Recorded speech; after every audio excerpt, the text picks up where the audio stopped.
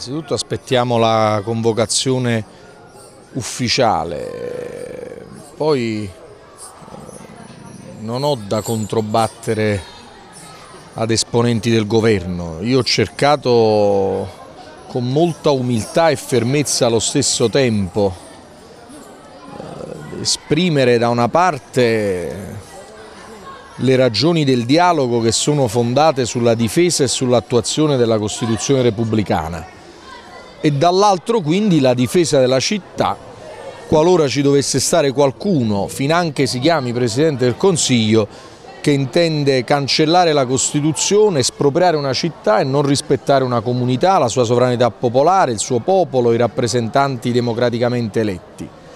E allora se qualcuno pensa di occupare istituzionalmente la città, espropriarla dei suoi diritti, saranno le armi della, della, democrazia, la difesa della Costituzione, la dignità di un popolo a non consentire tutto questo. Non capisco qual è il nervosismo del governo, non capisco veramente perché noi siamo pronti da tempo su Bagnoli, siamo molto più avanti di loro. Loro stanno a meno uno, nemmeno a zero che la bonifica l'hanno solo conclamata, annunciata da anni e anni e non l'hanno nemmeno cominciata.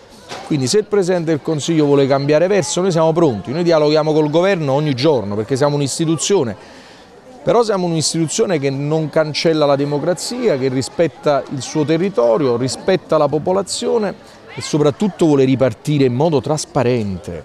Guardate, se non ci fosse stata la battaglia del Comune di Napoli sarebbe passata così sotto traccia una delle operazioni più sporche che le istituzioni abbiano potuto mettere in campo danneggiando una comunità, una popolazione e un territorio.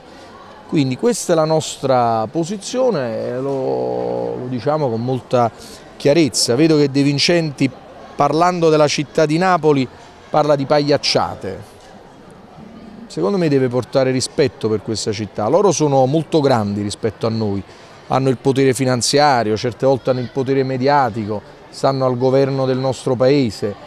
Noi non abbiamo questa potenza, però abbiamo una grande dignità, umiltà e determinazione. Quindi la nostra non è una sfida, la nostra è la difesa della città nel dialogo istituzionale ma senza girarci dall'altra parte, soprattutto quando vediamo che si mettono in campo operazioni torbide. Quindi se loro hanno paura della verità, mi dispiace per loro, noi stiamo qua, stiamo a Napoli.